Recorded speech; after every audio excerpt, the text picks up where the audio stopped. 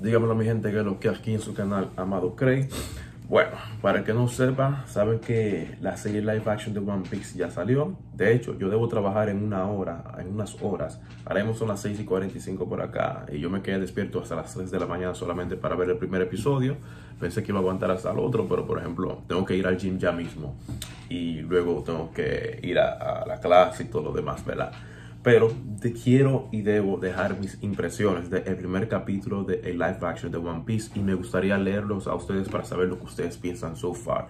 Debo decir de entrada que me gustó el primer episodio, no de una manera exagerada, vamos a decir, pero me gustó. Y este no de una manera exagerada se debe a, por ejemplo, que sentí principalmente la parte de Alvida un poco rush de entrada voy a decir que el que ha visto el manga, eh, el que ha leído el manga o el que ha visto el anime, habrá notado diferencias de una. Por ejemplo, la idea de que Garp está en la ejecución de Goldie Roger, ¿verdad? Eh, o sea, eso se nos presenta desde el inicio, desde el inicio. Eso es una diferencia que podríamos notar. Algo que también vimos en el trailer también, ¿verdad? También vemos algo súper cool y es que Luffy, por ejemplo, está en el bote, el bote se va a hundir y así es como él termina en el barril y del barril en la embarcación de Alvida, ¿verdad? Y con Alvida notamos algo de una que no vemos ni en el manga ni en el anime. Y es que Alvida decía, eh, de manera análoga a lo que vemos creo que en la película de Blancanieves, espejito, espejito, ¿quién es la mujer más linda del mundo? O algo así, ¿verdad? Aquí ella no dice eso, aquí lo que ella dice es quién es la mujer más, quién es el, pirata o la pirata más poderosa, ¿verdad? Que podríamos imaginarnos que esto tiene que ver para no herir las sensibilidades contemporáneas con la idea de la belleza, ¿verdad?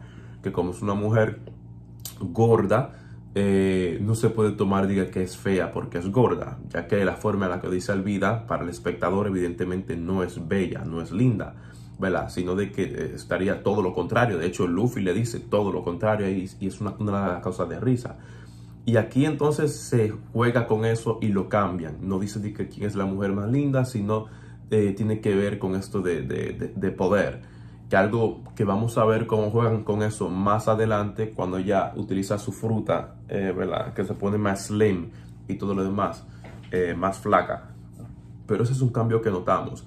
Y sin embargo, en esta parte también notamos otra cosa, que aquí vemos algo que logran hilar todo para tenerlo bien apretado, y es que ella piensa que está siendo buscada por Zoro de una vez que es otra cosa interesante, y también ya se nos introduce desde el inicio el nombre de Zoro. Por ejemplo, vemos a Kobe que sí mantiene la esencia de su personaje, así como los otros personajes, entiendo yo, mantienen la esencia del personaje. O sea, sentía Luffy, sentía Zoro, sentía Nami, sentía Kobe. Eh, pero esa parte de, quién es la más poderosa, eso me llamó la atención, que yo que yo lo que sí no me gustó en, en el capítulo completo y empieza desde esa parte con Alvida, y por eso digo que se siente Rush, es que cuando Luffy presenta sus poderes de, de, de el Gomu Gomu, ¿no, ¿verdad? De ser un hombre de goma, parece que nadie se sorprende, como que no hay una clase de sorpresa. Vemos que más adelante sí, eh, él le, le, dice a Kobe, cuando está con Kobe solamente, el por qué él es de goma, o sea, presentan el backstory, que es una, una de las fórmulas que están utilizando desde el punto de vista de forma en la serie, es decir, van hacia adelante en línea y luego crean un flashback. Dicen, dicen un flashback un poco para decir eh, el fondo histórico, el backstory de uno de los personajes. Por ejemplo, de por qué Luffy tiene la cicatriz eh, o por qué él termina con, con esto de la fruta del diablo. Pero todavía no se ha explicado la idea de la fruta del diablo. O sea, eso sería algo que ya uno conoce porque sabe de la serie, pero no se explica la idea de la fruta del diablo como esto de que no pueden nadar y todo lo demás, ¿verdad? Eh, pero otro que presentan, ya solo de una vez eh, están en este bote, en esta embarcación. Eh, cuando presentan el fondo de, de, Zoro, algo que llama la atención, seguro el que vio la serie notó esto, es que aparece Mr. Seven, ¿verdad? De la ganga de Baroque. Y sabemos que esto sí él lo menciona más adelante, de que él fue, eh, hubo un intento de reclutarlo en la ganga de Baroque, ¿verdad? Que eso está cool, muy interesante como un, un recompensa. Y acá se nos muestra esta parte cuando intentan reclutarlo, algo que no ocurre en el manga o en el anime, ¿verdad? Pero que él lo menciona. eso, está, eso me pareció cool y también da una justificación de cómo él sale en, en la isla donde se encuentra eh, eh, Morgan, ¿verdad? Que es como quien dice el main, el villano principal del primer episodio. So, esa, esa, esa, esa, forma de hilvanar eso, eso me que pareció súper cool. Y Zoro entonces se nos presenta en, en, en, este bar libre. Luffy presencia como él intenta ayudar a la muchachita. También vemos una relación con algo que ocurre así en el manga, que cuando la muchacha le hace un arroz, eh, le cae al piso y él se lo come del piso, pero acá lo come desde el bar que también se nos muestra un personaje que aparece más adelante, que es el segundo en mano de, de, Boogie, ¿verdad?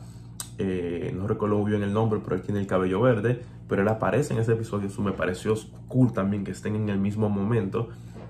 Eso fue, eso fue cool. Y vemos a Zoro ahí eh, peleando con eh, el Mepo, por ejemplo, ¿verdad? Y luego entregando su recompensa a Morgan y Morgan dice, ahí se entrega a Morgan para tiene que, durar siete días eh, en el palo ahí que eso está cool también y Luffy presencia entonces solo desde ahí eh, vemos también de nuevo la esencia de Zoro, de Luffy y todo lo demás. De hecho, a mí me gustó más, debo decir, la forma en la que Nami y Luffy se conocen en esta serie a como ocurre en el manga y en el anime. Se siente un poquito más natural.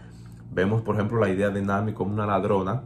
Luffy se da cuenta, y fue bien cómico la interacción de que se están mirando los dos, que sí o qué. Luffy también como que bien tonto, bien carefree. Eso, eso también es muy notable en la serie, lo, o lo enfatizan muy bien. Eh, eso fue bien cool. La idea de que se encondan detrás de una puerta para no ser encontrados, luego de engañar a Morgan también, ¿verdad? Eso creo que eso, eso le quedó muy, muy cool a, a, a ellos, ¿verdad? So, esa parte está bien interesante. Ahora, aunque una vez más, cuando él logra escapar con, con, la cosa y se tira de la ventana, de nuevo, es como que todo el mundo, nadie se sorprende de que Locotron se puede eh, estrechar sus manos, que o que solo como que a solo puede haber una justificación como es un recompensa y seguro está acostumbrado a ver esta clase de cosas, pero en otros personajes como que, no sé, como que no lo veo. Ahora, Morgan menciona otra cosa que es súper cool para el que ha visto la serie o leído el manga anteriormente. Y es que él está orgulloso. ¿De dónde nace el orgullo de Morgan? Uno de, los orgullos de Morgan nacen de haber sido uno de los que capturó al capitán Kuro. Y saben que ese es un capitán, spoiler alert, que sale más adelante, por ejemplo, en la saga de Usopp. Y en realidad él le entregó a una persona falsa. So acá vemos entonces la idea de que fue Garp que lo, eh, eh, eh, Morgan que lo capturó.